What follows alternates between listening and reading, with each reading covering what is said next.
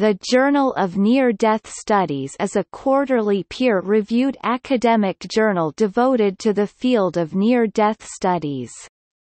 It is published by the International Association for Near-Death Studies. The journal's founding editor-in-chief was Kenneth Ring. Subsequent editors were Bruce Grayson and Janice Holden.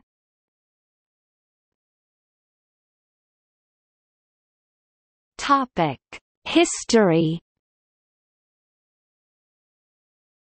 The journal was established in 1982 as Anabiosis and obtained its current title in 1987 with the start of Volume 6.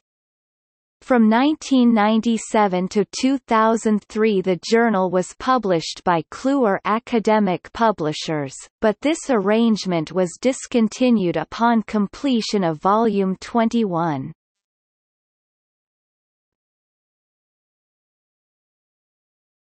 Topic. See also